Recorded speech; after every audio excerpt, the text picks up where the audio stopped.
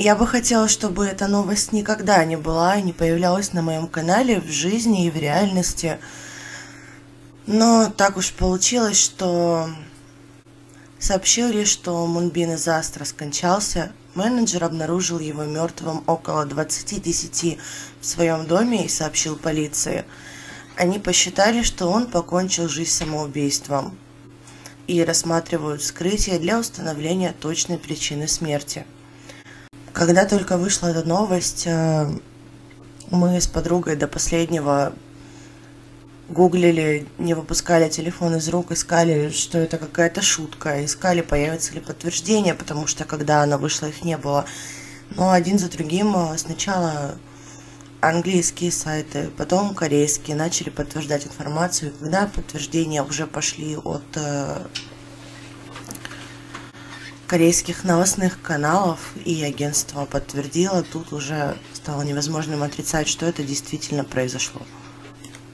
Агентство уже подтвердило эту новость, и я сочувствую всем Аруха, всем, кто болел, стынил болел за Мунбина, стынил его, всем, кто любил его творчество. Я надеюсь, что если что-то его беспокоило, теперь он чувствует себя спокойно, хотя в голове невозможно это уложить. Я познакомилась с Астро даже раньше, чем с BTS, и Мунбин был одним из тех, кто сразу зацепил мой взгляд. В самом начале моего захода в кей-поп, где-то в 2018 году,